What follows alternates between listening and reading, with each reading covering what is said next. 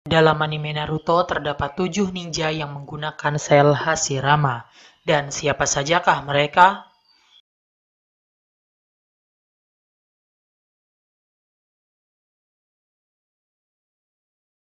Blazing on the track, boy.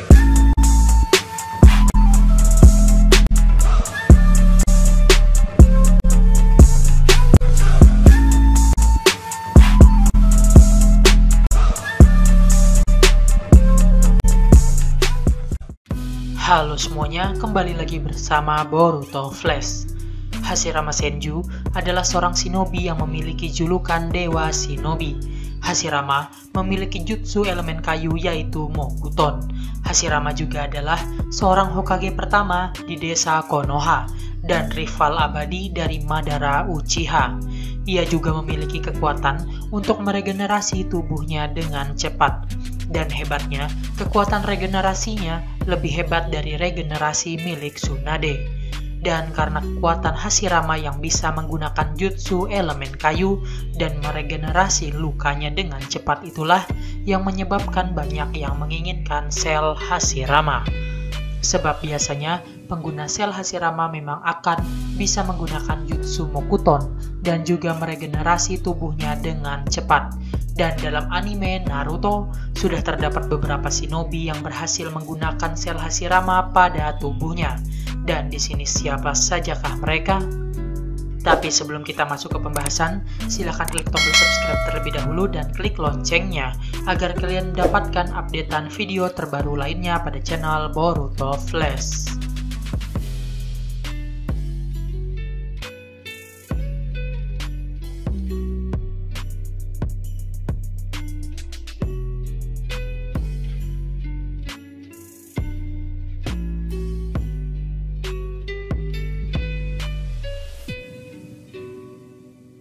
Di nomor pertama, Madara Uchiha. Madara adalah shinobi pertama yang menggunakan sel Hashirama. Hal tersebut terjadi ketika Madara bertarung melawan Hashirama di lembah kematian di masa lalu. Dalam pertarungannya, dengan liciknya Madara menggigit lengan Hashirama dan mendapatkan sedikit daging Hashirama. Kemudian setelah pertarungan itu berakhir, yang di mana Madara akhirnya kalah, namun ia berhasil selamat menggunakan teknik mata Izanaginya yang menyebabkan ia bisa memalsukan kematiannya. Lalu daging yang ia dapatkan ditanamkan pada tubuhnya dengan tujuan untuk mendapatkan kekuatan dari sel Hashirama. Setelah berhasil menanamkan sel Hashirama pada tubuhnya, Madara berhasil membangkitkan mata Rinnegan. Hal ini dikarenakan ia berhasil menggabungkan sel Hashirama, yaitu sel reinkarnasi Asura Otsutsuki, dengan Cakra Uchiha, yang di mana Cakra Uchiha adalah reinkarnasi dari Indra Otsutsuki, sehingga Madara mendapatkan kekuatan Rikudo Senin. Madara juga berhasil memanggil patung Gedo Mazo, yaitu cangkang dari Jubi, sehingga setelah itu Madara mampu bertahan hidup lebih lama dengan bantuan sel Hashirama dan kekuatan patung Gedo Mazo.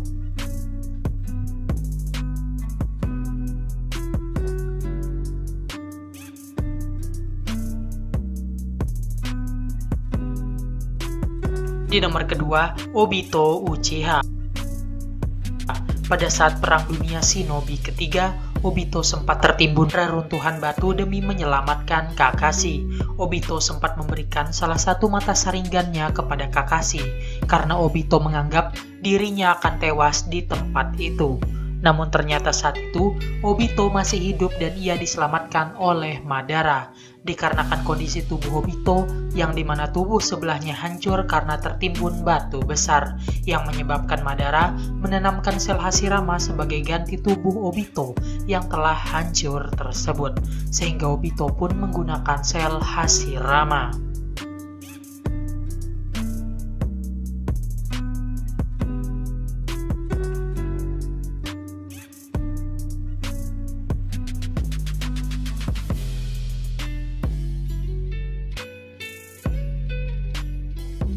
Di nomor ketiga, Orochimaru.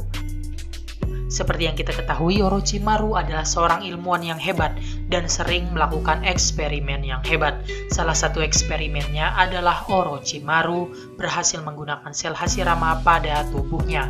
Orochimaru memperoleh sel Hashirama dari tubuh Zetsu putih yang ditemukannya kemudian ia modifikasi menggunakan DNA Hashirama. Sehingga setelah itu kekuatan Orochimaru semakin meningkat dan menjadi sangat hebat seperti sekarang ini.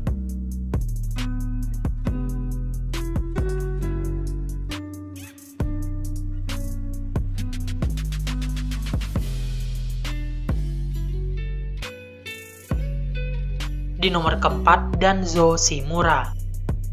Danzo mendapatkan sel Hashirama dengan bantuan Orochimaru. Ternyata pada masanya Danzo bersekongkol dengan Orochimaru dengan tujuan agar Danzo bisa menjadi lebih kuat dan dapat melindungi desa Konoha dari bahaya. Sel Hashirama yang ditanamkan pada tubuh Danzo adalah pada tangan kanannya, yang di mana tangan kanan yang digunakan Danzo tersebut dulunya adalah tangan Uchiha Shin yang memiliki banyak saringan, lalu tangan tersebut diperkuat menggunakan sel Hashirama. Tujuan menggunakan sel Hashirama pada tangan Uchiha Shin adalah agar efek kekuatan mata saringan yang ada di tangannya tersebut dapat bertahan lebih lama dalam pertarungan.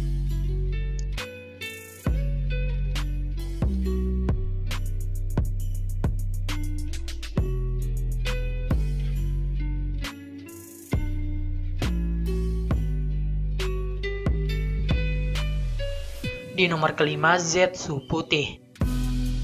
Zetsu Putih awalnya adalah salah satu korban Mugen Tsukuyomi Kaguya Otsutsuki di masa lalu. Kemudian Zetsu putih disimpan dalam patung iblis atau patung Gedomazo. Namun setelah Madara berhasil memanggil patung tersebut dengan cakra patung Gedomazo dan sel Hashirama yang ia gabungkan, Zetsu putih akhirnya tercipta dengan lebih sempurna. Sehingga pada Perang Dunia Shinobi keempat yang lalu, Zetsu yang dibangkitkan adalah Zetsu yang sudah memiliki sel Hashirama pada tubuhnya.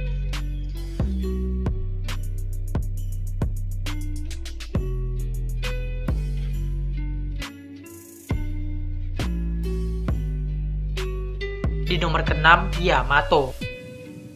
Yamato adalah seorang anak yang diculik oleh Orochimaru dan digunakan sebagai manusia percobaan, yang di mana Yamato ditanamkan sel Hashirama dengan tujuan agar Yamato bisa menggunakan jutsu elemen kayu. Sudah banyak anak-anak yang terbunuh akibat percobaan ini, namun Yamato berhasil selamat dan berhasil bisa menggunakan elemen kayu. Lalu Yamato diadopsi oleh Danzo, dan Danzo mengajarkan Yamato bagaimana menggunakan jutsu elemen kayu. Hal tersebut dikarenakan Danzo memiliki gulungan rahasia yang menjelaskan tentang bagaimana menggunakan jutsu elemen kayu.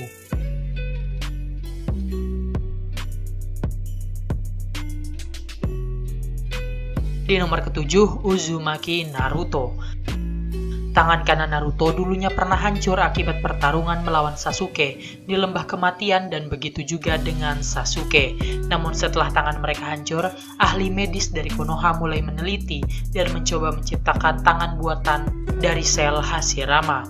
Dan Naruto akhirnya menggunakan tangan buatan dari sel Hashirama tersebut. Padahal seperti yang kita ketahui, kekuatan Naruto sudah sangat hebat akibat cakra Kyuubi yang ada di dalam tubuhnya. Dan sekarang kekuatan Naruto semakin bertambah lagi akibat sel Hashirama yang menjadi tangan palsu Naruto. Walaupun sekarang masih belum diperlihatkan, Naruto bisa menggunakan elemen kayu atau tidak. Kesimpulannya, dalam anime Naruto terdapat beberapa shinobi yang menggunakan sel Hashirama dengan berbagai macam tujuan. Dan salah satu tujuannya adalah meningkatkan kekuatan penggunanya hingga bisa menggunakan elemen kayu dan meregenerasi tubuh yang terluka dengan cepat. Dan di sini dijelaskan juga bahwa sebenarnya Sasuke juga mendapatkan tangan palsu buatan dari sel Hashirama. Namun sayangnya hingga saat ini Sasuke masih belum mau menggunakan tangan palsu tersebut. Padahal seperti yang kita ketahui, kekuatan Sasuke akan bertambah menjadi lebih dahsyat lagi akibat sel Hashirama, bahkan bisa melampaui kekuatan Madara. Jadi, itulah tadi tujuh pengguna sel Hashirama dalam anime Naruto. Semoga bermanfaat dan sampai bertemu di video selanjutnya.